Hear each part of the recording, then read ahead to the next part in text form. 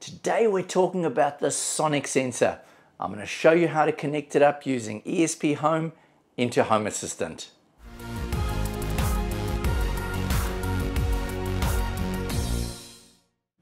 Hi there, welcome back to Simon Says.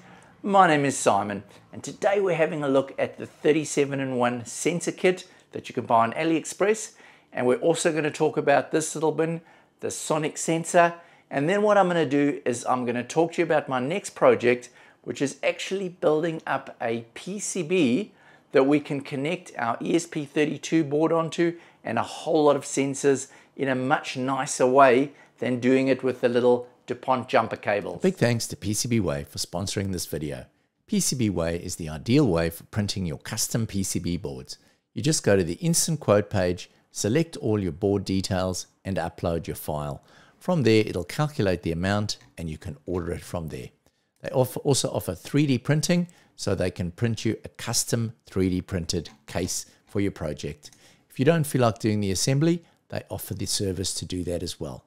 And then they have shared projects. This is a great way to see what other people have done with PCBs and order one for yourself. So having a look at these sensors, we've got some really useful ones here.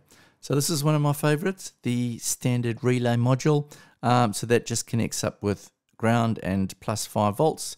And we then have our input pin, which will control this from one of the ESP32 pins out. Um, this is also classic DHT22, really good for temperature and humidity. Not ultra accurate, but for the price point, it does the trick. This is another good one, the light sensor. So you can use that for sensing light perhaps to open your blinds or something like that. So the one we're going to look at today is the ultrasonic sensor. And here we go. So you'll see we've got a board with a whole lot of uh, different ICs on the back, which are controlling it. And on the front, we have these two ultrasonic sensors, the one that sends a signal, the other one that receives a signal, and then it calculates the distance based on the time that the signal takes to get back. So I'm going to show you how to wire this one up, and it's very, very easy. So the first thing you do is you take your ESP32. Different ESP32s have different pinouts, but mine has got 5 volts here. So we need 5 volts for power, not 3.3 on this device. Always check what your device needs. So that's the VCC pin on that is your power. The next one is our trigger pin.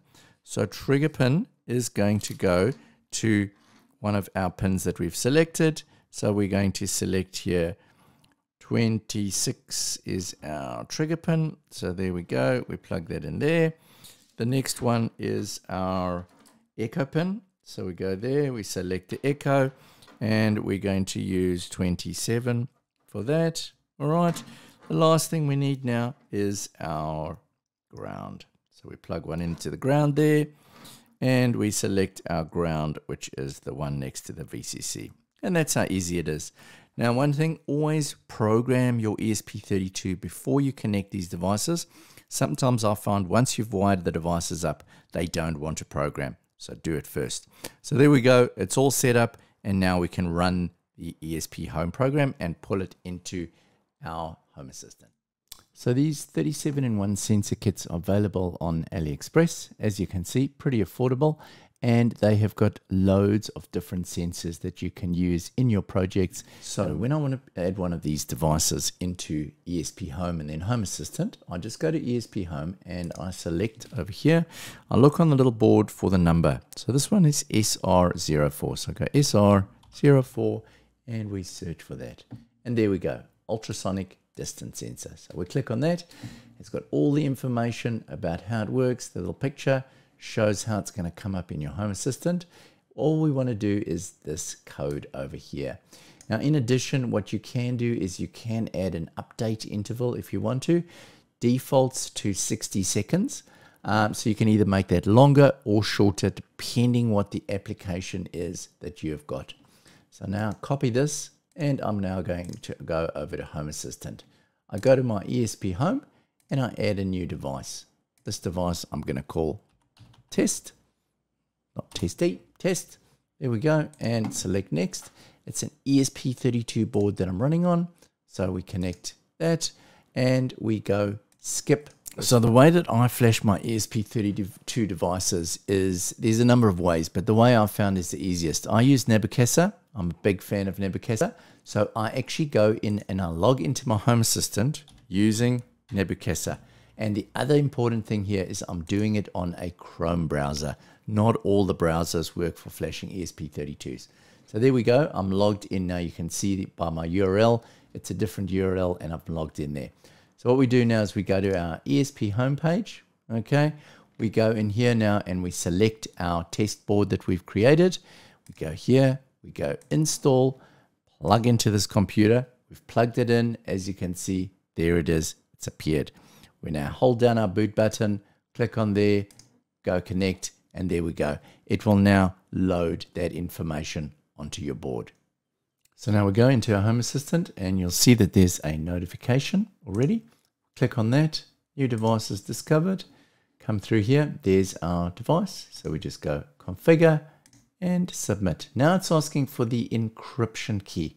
So the encryption key is found here. You just go into your test go edit and you just go down here API encryption key and you copy this and you just go and paste that in and then it will load your ESP32 board up into Home Assistant.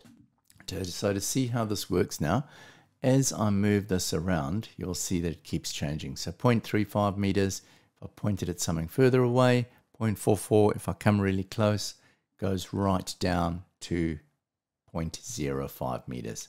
So they're pretty accurate, but the one thing with this is it does have a limit. Somewhere between 2 and 3 meters it seems to limit. So if I point it something far away, it goes unknown. The moment I bring it to something closer, it goes to 1.5 meters. So these are really useful. There's a whole lot of things that you can do with this. Um, one thing that a friend of mine has done is he has a salt bin that uses uh, basically salt to soften his water and he wants to know when it goes to a low level. So he creates an automation. The moment it goes to a low level, it will send him alert to update the salt or top up the salt. Another usage for this is if you want to know whether your car is in the garage at night.